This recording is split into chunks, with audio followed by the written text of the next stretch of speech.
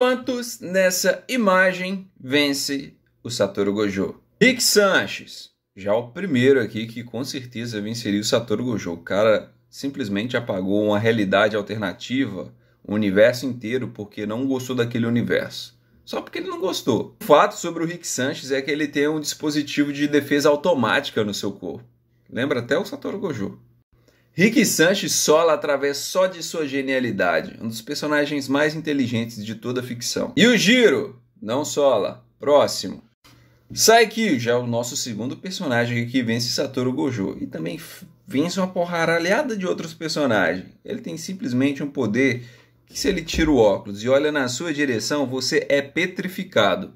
Fim. Aqui também tem muitos outros hacks apelões para um caramba, mas vamos pro próximo.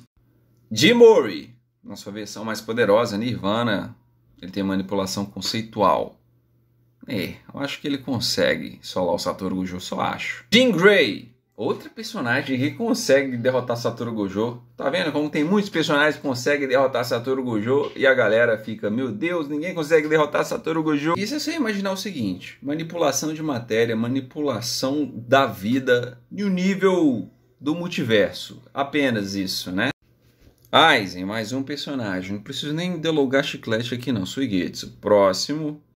O Mike tá aqui só de meme, né? Só de meme. Não sola nem um milhão de anos. O Kira, há possibilidades dentro de uma narrativa, de um roteiro dele vencer o Satoru Gojo, mas de frente no X1 ali, impossível dele vencer o Satoru Gojo.